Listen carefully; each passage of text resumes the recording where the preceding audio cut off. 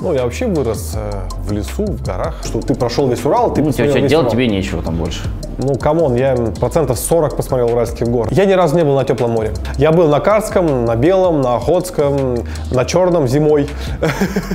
Вот, но, к сожалению, ни разу не был на теплом. Но мне, конечно, повезло. Первые полтора месяца дождей практически не было. Не было никаких проблем с бродами. Ну и все равно, конечно, по горам идти в хорошую погоду, когда солнце светит лучше, чем когда дождь и туман. Я хочу оставить какой-то след в истории, след в географии, может быть, в туризме.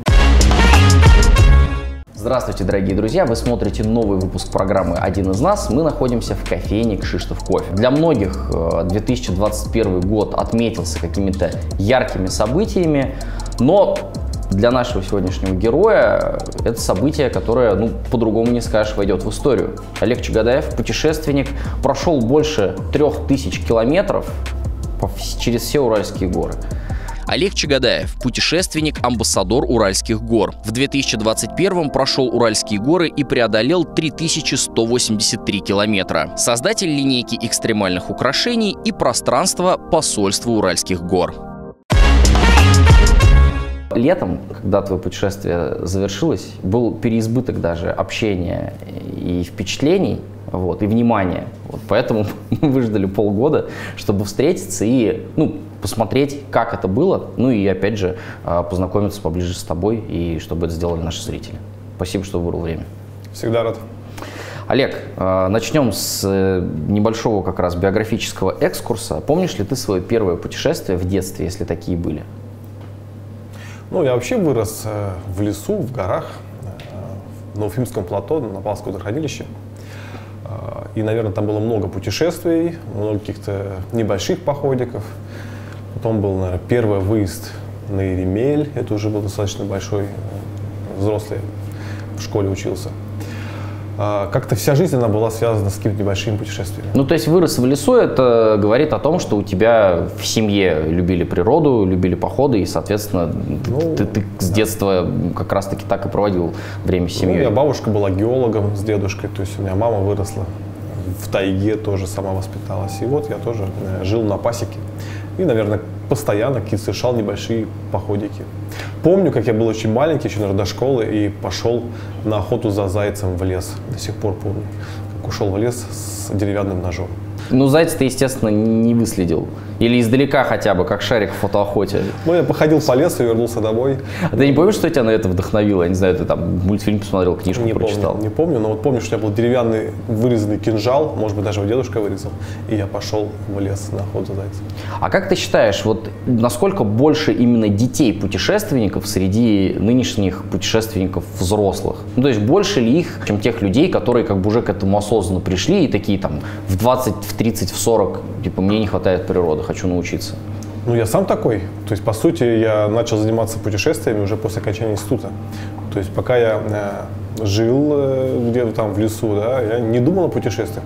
Когда ты живешь в Путешествие было вокруг да, тебя. ты сам, ну, это уже твоя обыденность. Вот. А потом, когда я поступил в институт, проучился, и мне это опять стало не хватать. Про детей, ну, на самом деле, здесь такая история неоднозначная. Многие, наоборот, если их много таскать в детстве куда-то через их силу, Они через устанут, силу, да. ну, просто надоест уже, они этим, этим приедятся в молодости. Поэтому тут сложно сказать. Наверное, все-таки, если у тебя родители путешественники, вероятность все-таки больше, но и большая вероятность, что ты вообще будешь принципиально это отрицать. Тут непонятно как. Ты упомянул институт, где и на кого учился? Я учился в школе МВД, сотрудника правоохранительных органов. И вот как раз где-то по окончанию института ты, э, я не знаю, вспомнил про детство на природе или вот что тебя сподвигло уже на самостоятельное путешествие? А, Ну, где-то уже э, к окончанию института мы начали выезжать потихонечку, а потом я отучился и как-то меня потянуло. Сперва это были горные лыжи, начались выезжать м, на горнолыжки, постепенно как-то начал, э, надоели мне эти склоны, начал уходить все дальше в лес, в лес, в лес. И вот теперь уже практически не выезжаю на горнолыжки, а хожу э, в горы на лыжах и э, катаюсь там неделями без подъемников. Ну, то есть это всегда пеший-лыжный туризм. Пеший, водный, вело, ну, иногда спелео, туризм. Практически любые виды туризма я ими занимаюсь. А что касается работы, то есть я, насколько понимаю, сейчас можно тебя назвать профессиональным путешественником, если такой термин существует. Ну, то есть это как бы твое основное занятие. Мы перейдем потом еще ко всем около туристическим твоим делам. Не хочу просто забегать вперед. Кем ты работал а, вот, до того, как смог полностью посвятить себя хобби? Мне очень повезло, я остался работать в институте. Преподавателем? После, не преподавателем, вначале в отделе кадров, потом я работал на секретной кафедре. Э, Звучит больше, секретно. Больше я сказать не смогу. Звучит секретно, Да, а то что... придется нам всех слушателей э, закрыть выезд за границу лет на 15 после этого. Или как люди в черном, но звучит не так страшно, как да. закрыть выезд на 15 да. лет. Ну, в общем, мне очень повезло остаться в институте, потому я что если я остался, ушел бы работать на землю, то э, не факт, что я здесь сидел бы сейчас угу. и разговаривал с тобой. Все-таки там профдеформация очень высокая. Вот, поэтому 15 лет я проработал в органах. До э, экспедиции, о которой мы сейчас поговорим, самые экстремальные и, если можно сказать, экзотические путешествия, которые у тебя были? Ну, я не люблю слово экстремальный. Экстремальный это не про туризм. Потому что если у тебя случился какой-то экстрим, э, это значит какая-то... Плохо спланировано. Плохая подготовка, там, ты совершил какую-то ошибку. Все-таки я стараюсь э, делать маршрут так, чтобы там не было ничего такого экстремального, неожиданного. А, вообще я занимаюсь Уралом, я хожу в основном по Уральским горам, это как бы моя, так считаю, что это моя миссия. Но я, конечно, бывал и в других районах, и там 9 раз на Эльбрусе был, а, Курильские острова, ну, другие горные системы страны. Это ну, путешествие по России преимущественно. Да, преимущественно по России. Практически за границу я не выезжал, ну там буквально там два-три раза только. Но тебе не интересно? И, и, или ты здесь всегда просто для себя что-то находишь, куда можно съездить и, и в любимые места попасть? Тут даже э, вопрос не, за, не про заграницу. Больше можно спросить, не интересно ли мне бывать в каких-то других местах России, потому что ну, 90% времени провожу на Урале. И многие спрашивают, ну, как бы тебе не обидно, там у нас в России, даже если говорить просто про Россию, она огромная страна, а если уже говорить про мир, это вообще бесконечное да, количество а, историй. А, ну, это такая, может быть, небольшая жертва. У меня есть такая теория, что ли, если так сказать. Я хочу оставить какой-то след в истории, э, след в географии, может быть, в туризме. А, и, на мой взгляд, чтобы сейчас это сделать, нужно сосредоточиться на чем-то одном и копать глубже. Мы много знаем прекрасных блогеров, каких-то путешественников, которые сегодня он здесь, завтра он там, послезавтра он э, в Антарктиде, но невозможно объять необъятное, они копают не глубоко. То есть они только смотрят да. поверхностно и побежал, побежал дальше. На мой взгляд, если ты хочешь сделать что-то более серьезное, тебе нужно э, углубиться в тему. Поэтому я выбрал свои истории Уральские горы. А Уральские горы это одни из самых разнообразных, одни из самых, э, ну, они очень протяженные, самые длинные горы, горы в стране. Поэтому мне в целом хватает Урала и хватит еще лет на 25, на 30 спокойно. Вот поэтому в целом не обидно. В сюжете наших коллег, э, которые снимали как раз в августе, когда ты вернулся, мне очень э, понравилось твое сравнение, то, что если посмотреть на карту, Уральские горы – это вообще такая каменная дорога, по которой можно пройти. Соответственно, а в чем уникальность того маршрута, который ты проделал в 2021 году? И почему до этого, то есть никто не занимался, ну, именно чтобы пройти все. Если брать твое сравнение, звучит очень логично. И, соответственно, странно, почему никто раньше этого не сделал. Да, ну смотри, получается, я прошел, э, прошел по Уральским горам, пересек всю страну. От широтного течения реки Урал, это начало Южного Урала, до горы Константина Камень, это последняя вершина на Урале, э, две с половиной, ну, даже ну, две, две с половиной тысячи километров по прямой, 3286 э, со всеми зигзагами получилось. А, по сути, пересек всю страну с юга на север. В чем уникальность? И можно ли сказать, что никто до этого не занимался? Нет, люди занимались до этого этими маршрутами, а, потому что ну, такая идея, она возникает совершенно логично. Ты смотришь на карту, ты видишь этот узкий, вытянувшийся через всю страну горный хребет, и ты хочешь по нему пройти, если как бы, ну, ты путешественник, если ты ходишь по Уралу. Это совершенно логичная история. Это не моя идея, безусловно. А, было как минимум три экспедиции, которые э, пересекали делали так называемый Транс-Урал, трансуральский маршрут, маршрут, охватывающий все пять частей Урала. Урал делится на пять основных частей. Это южный, средний, северный, приполярный, полярный. По ряду причин ни одна из этих э, экспедиций, ни один из этих походов э, не прошел Урал полностью. А, первая экспедиция была в 91 году. Николай Рунквист, э, Екатеринбуржец, Свердловчанин тогда еще. Они стартовали с Магнитогорска и дошли до Карского моря. Но они не прошли примерно 300-400 километров крайнего юга Южного Урала. То есть это, безусловно, очень крутое, культовое путешествие, они сделали крутую книгу, но они не прошли вот эти 10 или даже чуть побольше процентов Урала. Соответственно, как бы, ну, история не была, э, ну, это как, опять же, Северный полюс не достичь на 10%. На 10%. Ну да. По сути, то же самое. Да, обидно. Ты, ты круто дошел очень далеко, ты сделал все. Но ты не можешь сказать, что ты дошел. Да, да, и этот галочка не поставлена. Потом были еще две экспедиции, и в какой-то части они э, либо обходили какую-то часть Урала, либо стартовали э, позже, там, да, не с начала Южного Урала. Поэтому я поставил перед собой цель пройти весь Урал полностью по горам не выходя на территорию э, русской равнины или э, западно-сибирской равнины, не спускаясь с гор, пешком. И вот э, поставил и сделал. Мне вот сейчас очень отпечаталось то, что ты сказал, экстремальные путешествия, это значит там не очень хорошо подготовленные. И я как будто бы нашел для себя ответ на вопрос, что меня вообще звуч... смущало всегда в слове экстрим. Так вот, что касается хорошей подготовки, как долго ты готовился, то есть с момента появления идеи и реализации? Тут можно разделить на два этапа, наверное. Первый этап это чисто такой теоретический, э, смысловой какой-то, да. Наверное, я готовился всю свою жизнь, когда вот ходил начал Но это уже тренировки, части 15, маршрута. 15 лет, да. То есть, во-первых, я познавал Урал, я тренировал передвижение по сложным поверхностям, потому что это сотни километров курумных, э, курумных э, полей, да, это буреломы, это болото. И если у меня не было бы огромного опыта, у меня там много тысяч километров пройдено уже по Уралу было до этого, я бы, наверное, не мог так эффективно идти. И постепенно, пока я вот э, ходил, у меня возникала эта идея, она как бы обрастала пониманием того, что я могу это сделать. И примерно пару лет назад я понял, понял, что я должен это сделать. Вот, кстати, эта идея возникла, когда последний, э, третий человек, Кирилл Франюк, он прошел Урал с Оренбурга до Карского моря, но обошел по русской равнине, ну, там, примерно тысячу километров. Я вот, я думал, ну, то есть он спустился и обошел. Он вышел на железную дорогу, которая идет по русской равнине, и обошел ту часть uh-huh. Урала и финишировал на последней вершине Урала. Ну, по сути, он, конечно, прошел вдоль, по Уралу и вдоль Урала, он совершил это очень быстро, за 86 дней, по-моему, э, очень крутое спортивное достижение, но он не прошел Урал по горам. И когда он стартовал, я думал, ну вот он сейчас пройдет, и, наверное, э, ну, мне уже не надо будет идти, ну и хорошо.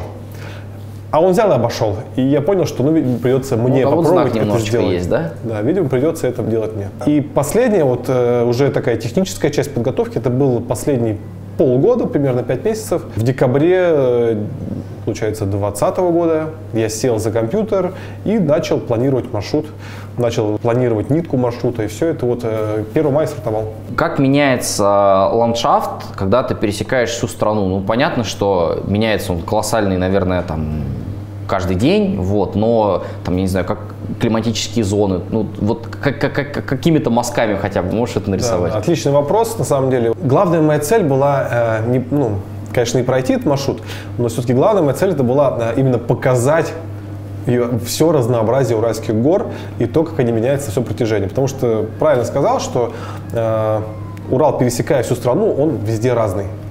И вот э, стартуем мы на крайнем юге, в Оренбургской области, на границе с Казахстаном. Это степи, это такие увалы, степные вершины. Хребет Карамурунтау, долгие горы, потрясающе красивые места, мало посещаемые людьми.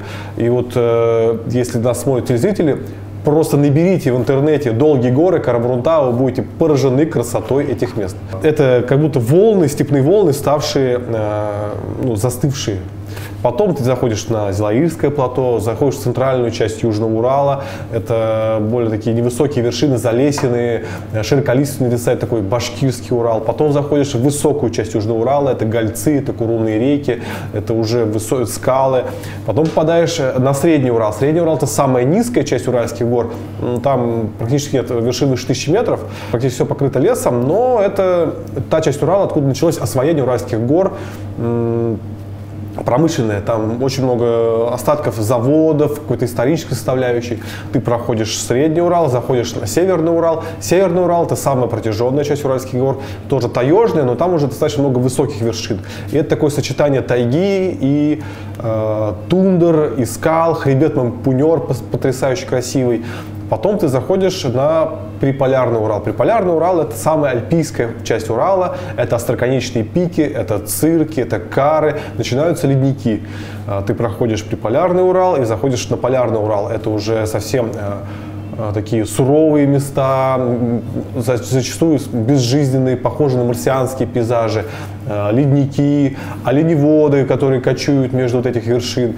И доходишь, и потом уже выходишь в тундры, э, и горы растворяются в тундрах, и вот уже в 40 километрах это Карское море.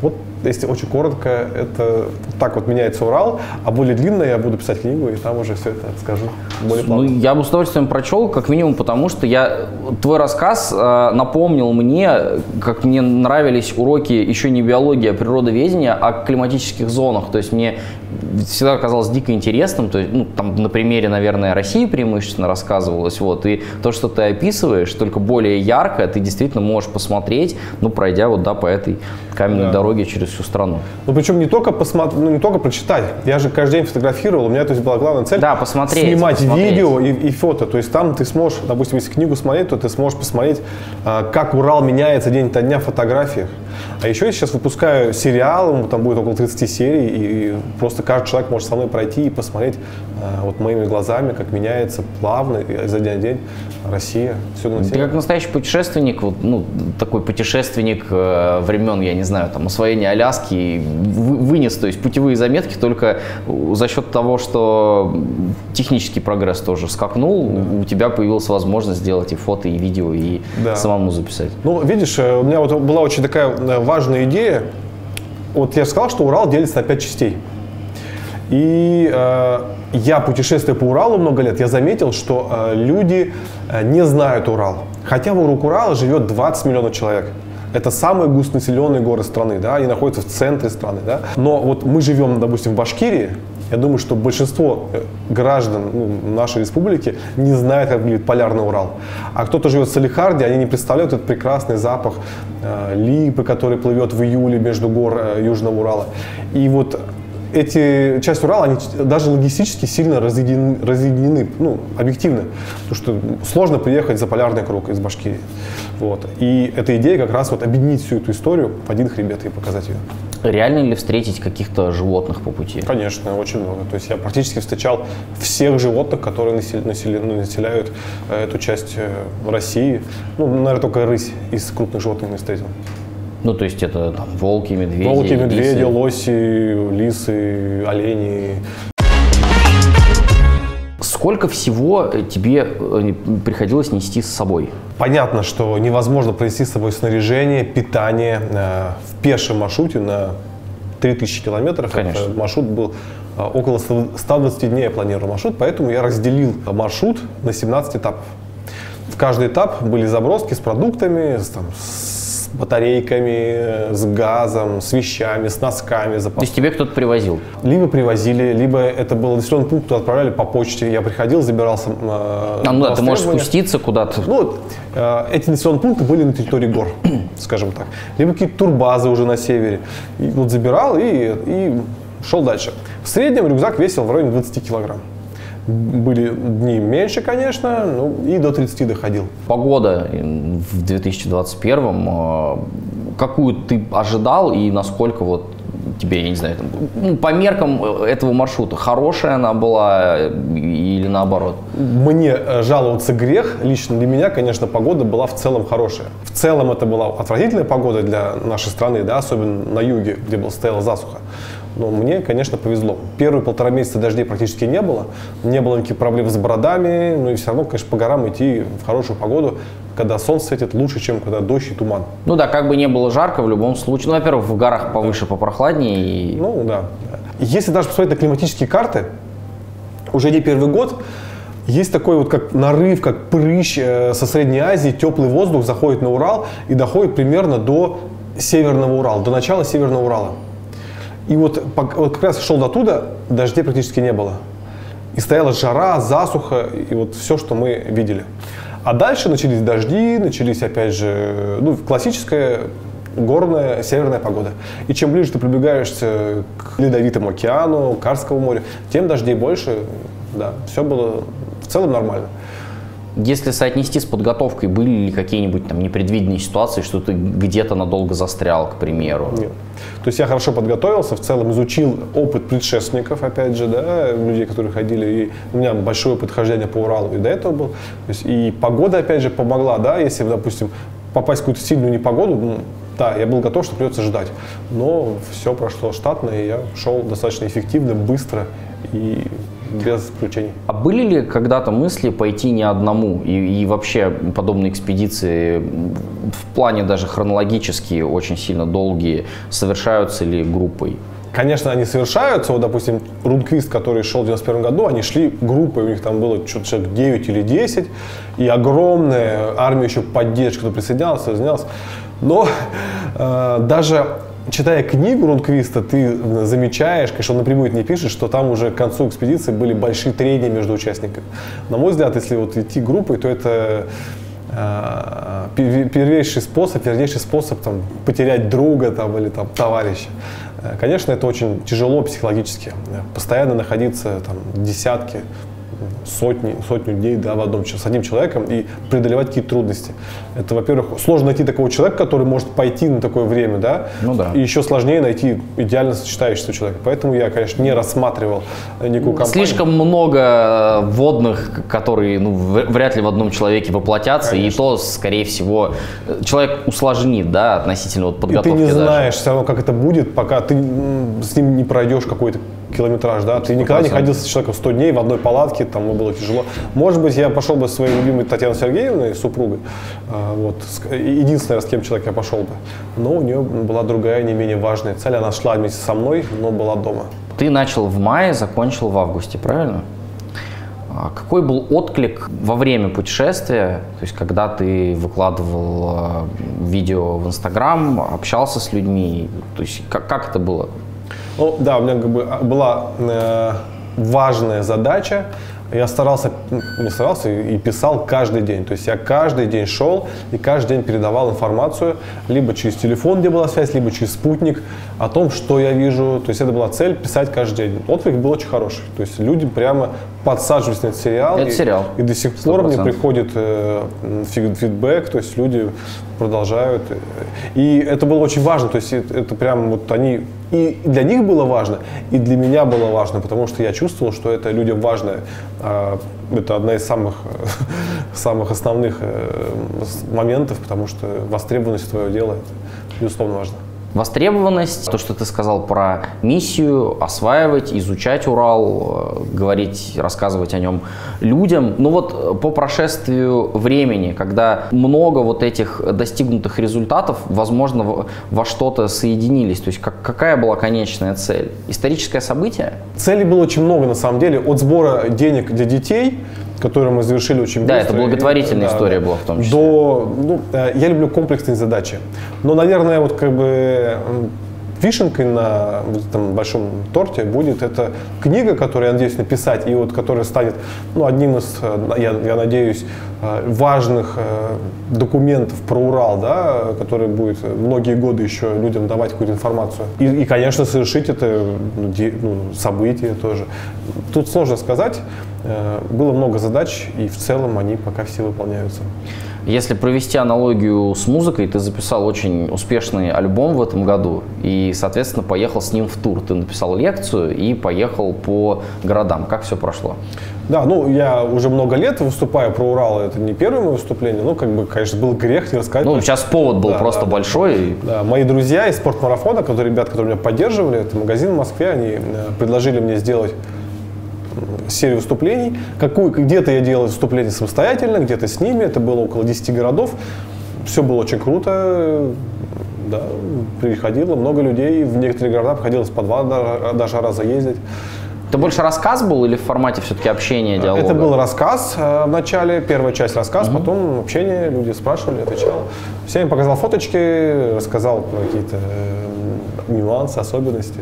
Было очень много вопросов интересная часть твоей жизни, связанная напрямую с туризмом, с путешествиями, но при этом, я надеюсь, что это хороший бизнес, экстремальные как раз-таки украшения. Как родилась эта идея у тебя? Я, насколько понимаю, тоже достаточно давно.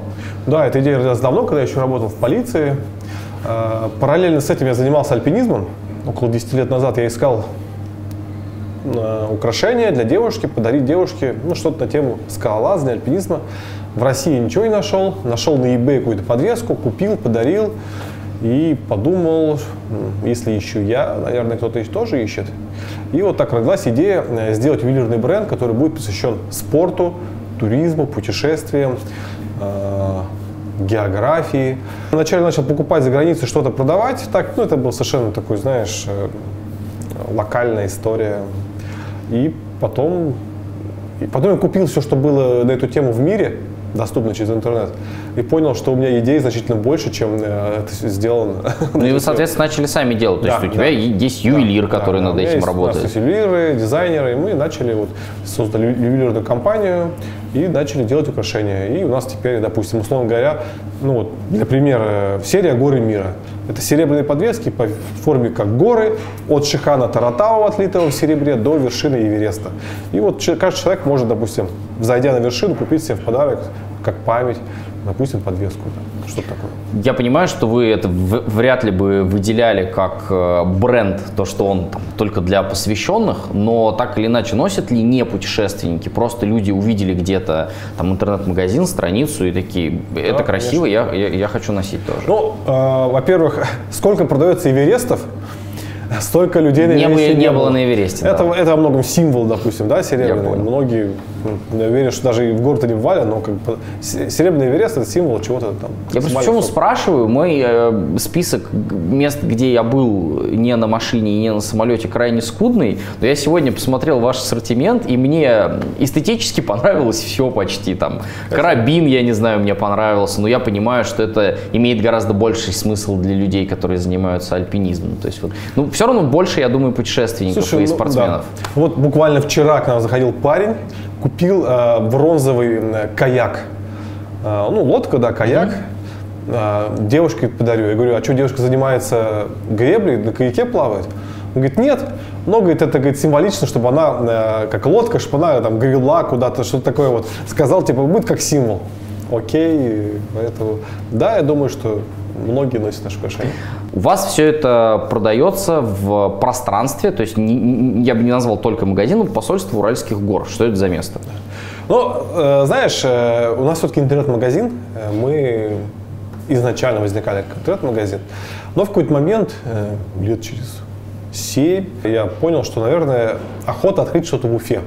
Не просто мастерскую, где мы все это делаем и отправляем, да, там, продаем, а, но неохота было открывать чисто коммерческую историю какую-то, потому что мы, ну, мы не про коммерцию, во-первых. Во-вторых, Уфа все-таки э, прекрасный мой любимый город, она не настолько э, туристический город, чтобы было смысл открывать просто магазин э, серебряных Эверестов. А так как моя история это Урал, мы решили, что откроем место, э, скажем так, клуб, даже больше не клуб, а неофициальный туристический визит-центр.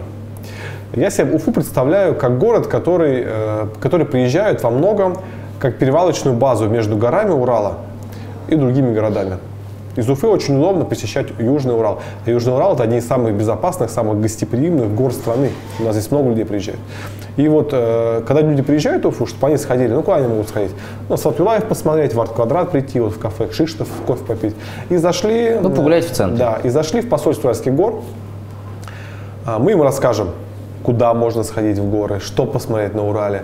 У нас есть бесплатные карты, у нас есть библиотека, где можно взять книжки почитать. Но есть уникальные украшения, которые созданы в Уфе, э, которые вот созданы этими людьми, и как бы можно и купить подарок классный. Вот. И сделали такое место, находится в центре города, и рассказываем про Урал, ну и продаем украшения. А, как раз-таки памятник Клещу тоже ваших рук дело. Он, собственно говоря, там на Мустая Карима и находится. Как эта идея вышла в голову? О, да. Клещ вообще это наша такая э, важная для нас история. У нас а, целая серия украшений началась Клеща. Мы как-то сидели с товарищем, и он говорит, давай, говорит, ну, как раз дизайнер, с которым мы рисуемся, он тоже путешественник, э, он сказал, давай сделаем серебряного клеща, серьгу я говорю, классная идея, ну давай сделаем клеща и комара, и назовем их гопники из леса. Будет такая пара украшений. И как-то потом эту всю историю э, у нас развивалась. А идея с памятником клещу родилась весной 2020 года. Э, у нас в Уфе э, как-то сделали граффити с э, медсестрой, которая показывала неприличный жест. К ковиду. ковиду. Я как раз шел по улице, тогда были ограничения, я ходил пешком, я и шел, и этот парень рисовал вот этот памятник. Ну, не памятник, а... Ну, мурал, да. Да, граффити рисовал. Угу. И мне стало немного обидно, то что это же, это же калька с американского, то есть это, по сути, перерисовано. Эта работа уже была, да? Да, да в Америке. Я подумал, ну крутая работа, но почему у нас там вот, вспоминается все там, то, что где-то сделали? А, а вот я шел, и вот прям вот это реально как возникла идея с ключом, подумал, а что мы можем сделать такого, чего нет нигде в мире? Я подумал, блин, было бы круто поставить э, памятник клещу, первый серебряный памятник в мире, там, ну, клещу. А клещ это как бы ну, одно из э, важных явлений в горах, в тайге Урала и России. И, наверное, под это еще можно подвести какую-то э, гуманистическую историю, потому что все ненавидят клеща, да? Ну, клещ... Это, ну, они мало чего хорошего кому-то сделали. Да, мало чего хорошего. Но, по сути, клещ, он не виноват в том, что он, ну, кровь сосет. Он таким родился. Ну, да. И, по так. сути, у нас, и у нас написано на памятнике, я, я просто хочу жить так же, как и ты. И если тебя укусил клещ, тем более, если ты заболел энцефалитом, но это не его вина, это твоя вина. Ты пошел э, в лес, ты не предохранялся, ты неправильно одевался, ты не сделал прививку от клещевого энцефалита. Поэтому в целом они такие же, как и мы. Ну, просто, и они, они нужны для природы. У них есть определенная своя ниша а, в этой природе. Вот, и мы поставили, отлили из серебра памятник клещу. А, честно сказать, мы думали, что он пропадет, ну, там, украдут там, через сутки, через двое суток. Вот, но он уже стоит второй год и к нему... Стоит, и там выходные дни, я могу тебе сказать, что есть даже, ну, не, если не очередь, то люди ждут, пока кто-то сфотографирует или посмотрит, чтобы поменяться. Да. У нас в посольстве темные стекла, и мы периодически спорим, как там люди вокруг ползают у него на, на коленях, он достаточно маленький относительно, и такое поклонение клещу Валере. Его жители города Уфы назвали Валерой. Нормальное имя. Да, отлично. Для клеща да. подходит. А помешала ли как-то пандемия э, тому туризму, которым ты занимаешься, путешествием? Нет, не помешала. Я же занимаюсь туризмом в рамках страны в целом, даже езжу сам на машине, э, ну или на самолетах, или на поездах. В целом нет, никак не помешало. Э, только людей стало больше в горах. С одной стороны, это нехорошо, вот, с другой стороны, хорошо. Для природы? Вообще, я считаю, что в идеале, конечно, людей должно быть больше в горах Южного Урала, вот как минимум Южного Урала, да. Есть говорить про те горы, где мы живем, вот мы, мы в Башкирии, это Южный Урал. Э, в моем представлении такой, э, в идеале эти горы можно сделать э, всероссийским горным парком. Они безопасные, они доступные, и в целом они доступны для людей, там, неподготовленных людей, для пенсионеров. Ну вот, да. Я не турист. Тут нет я, я бывал в горах Южного Урала. Никаких особых э, проблем сходить в горы. И это при, при должном э, умении и какой-то там э, планировании, это можно сделать таким всероссийским парком, куда можно приехать и погулять. И это прекрасно, и людей должно быть все больше и больше. Но а, вот эта пандемийная история случилась резко, и а, инфраструктуры нету для приема такого большого количества людей. И вот представляешь, люди им закрыли, условно говоря, Турцию какую-нибудь, да, там какие-то другие места, Альпы закрыли. И они поехали на Южный Урал. Они приезжают, а здесь грязь, э, все заплевано, все истоптано. Они посмотрят, скажут, ну окей, мы посмотрели Южный Урал, ладно, а больше не хотим. Если бы это было более плавно развивалось, наверное, это было бы более и щадящий для Урала, и для людям было бы интереснее. А чего не хватает вообще инфраструктуре а, путешествия на Урал? Ну, на южный Опять конкретно. же, нужно разделять Южный Урал. Да, на Южный, Они на все да, разные. Да, да, давай локально возьмем, Но, что около Башкирии. Вот Южный Урал, у нас есть набор крутых, классных локаций, но чтобы на нее попасть, тебе нужно пройти, условно говоря, 5-10 километров по грязи. Разбитые дороги, нет указателей, ну и немногие люди готовы заниматься этим. А, есть заброска, тебя отвезут на внедорожнике на каком-нибудь, на вездеходе, еще больше разбивается дорога. И получается такой замкнутый круг. То есть э, просто э, красивая, прекрасная природа, она погружена, все подходы просто через помойки, через грязь э, и, плохую логистику. Нужно делать на государственном уровне как-то систему троп более обустроенных, В идеале ты подъезжаешь на машине, оставляешь место на бесплатной парковочке, вот есть указатели, куда идти, тут туалет чистый, мусор какой ты можешь вынести мусор с гор. Ты взял детей и пошел по указателям на вершину горы, поднялся, пофоткался там, э, запостил э, фоточки, сторис и вернулся обратно. Идеально. Пока такого нету. В целом это, наверное, все решаемо, но нужно государственная воля, скорее всего, для этого. У нас пока такого нет. Ты уже сказал про путешествия вне э, России и, в принципе, вне э, Урала. Что вообще думаешь про лежачий отдых или отдых в городах? Ну, то есть и люди, которые любят природу, им часто города не интересны. Вот эти два момента. Города и лежачий отдых. Ну да, я не очень люблю города, путешествия по городам. Хотя иногда просто погулять по городу вот так вот, э, без какой-то программы жесткой там музей, вот это вот, просто посмотреть город нормально прекрасно, если людям это нравится, пусть лежат, пусть... Э, Не-не, как тебе, мне тебе, может, у тебя бывает такое, нет. я устаю, и я раз в три года, мне типа надо полежать. Я ни разу не был на теплом море. Я думаю, мне кажется, Все, это... это ответ. Я был на Карском, на Белом, на Охотском, на Черном зимой. Вот, но, к сожалению, ни разу не был на теплом. Ну, почему, к сожалению? Вот, ну, в принципе, наверное, ты ответил чаще... на вопрос. Если ты был, да. ты же был на Черном море, ты мог да. побывать там и летом, да. так что ну, было бы желание. Ты уже сказал, что определенной вишенкой на торте, финальным элементом декора на этой истории будет книга, но может быть где-то у тебя еще закрадывается мысль про, там, не знаю, новое путешествие и э, что-то еще ты хотел бы помимо Урала там, открыть для себя. Ну или может быть просто для себя куда-то съездить, где ты не был. О, ну вопрос такой, конечно. Ну, во-первых, э, конечно, э, история не заканчивается на этом маршруте, да, она продолжается. Я буду дальше заниматься Уралом. Ну, многие думают, что ты прошел весь Урал, ты ну, посмотрел тебя, весь делать Урал. тебе нечего там больше. Ну, come on, я процентов 40 посмотрел Уральских гор, да, и мне еще лет на 20 хватит э, работы на Урале, потому что это комплексная история, и я хочу сделать такую большую историю про Урал посмотреть весь Урал, отснять весь Урал и показать людям весь Урал. Маршрут это только как бы такая достаточно крупный камень в, этом вот, э, в этой куче, но он может быть даже не самый большой. Вот. Поэтому я дальше буду заниматься также Уральскими горами. Ну и у меня такой принцип, я, наверное, ну, процентов 90-80 это Урал, а остальные, остальная история это другие места, чтобы ну, тебе просто не стало тошнить от Уральских гор уже. Ну, чтобы картинку сменить, да? Ну, конечно, да, то есть глаз замыливается, наверное, нет смысла только по Уралу ходить. Идей много, конечно, может быть, хотелось бы и в Америке пройти какую-нибудь национальную тропу, да, и побывать и в очень крутых, ну, идей очень много. Но конкретно это все-таки Уральские горы. Последний вопрос, что тебя делает счастливым? О, ну вопрос, конечно, классный и сложный.